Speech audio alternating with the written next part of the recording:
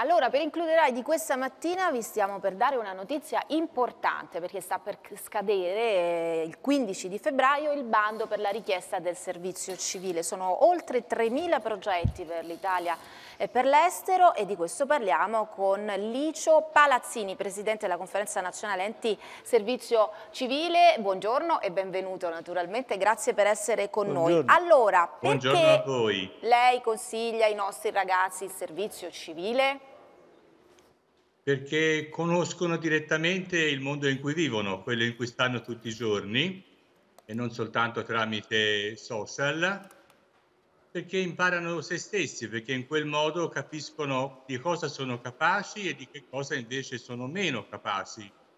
E quindi è per questo che è utile fare il servizio civile, ma anche per i cittadini è importante il servizio civile, perché è un modo per sostenerli nelle difficoltà, ed è un modo anche per accompagnare le tante buone attività che vengono fatte nei nostri piccoli centri e grandi centri.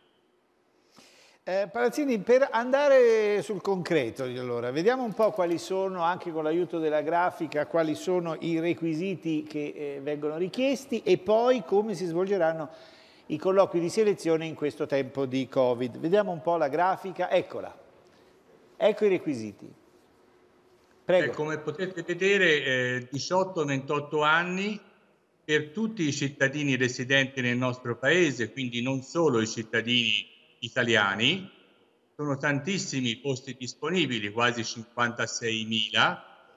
In realtà i progetti sono tutti per 12 mesi, quelli che attualmente sono accessibili ai giovani un orario di servizio di 25 ore settimanali che può essere organizzato anche con un monte orario, quindi con una flessibilità richiesta molto dai giovani e c'è un assegno mensile di 440 euro.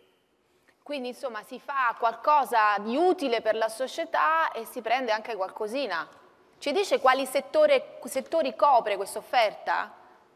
Ma guardi, l'offerta copre praticamente tutto quello che la legge permette, dalla tutela del patrimonio artistico e culturale al grande settore della cura della persona, quindi l'assistenza alla promozione e tutela dei diritti umani, all'agricoltura sociale, alla educazione, alla formazione di altri giovani, di bambini, all'accompagnamento di adulti.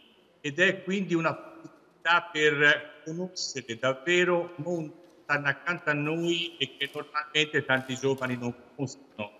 Ed è anche un modo per i giovani che ancora non hanno un lavoro di imparare a capire come si sta insieme agli altri per fare delle cose concrete. È davvero un'occasione di educazione e di formazione e per chi ha studiato può anche mettere in pratica quello che ha studiato, che non è una conoscenza da poco abbiamo detto come si svolgeranno i colloqui eh, in tempo di pandemia?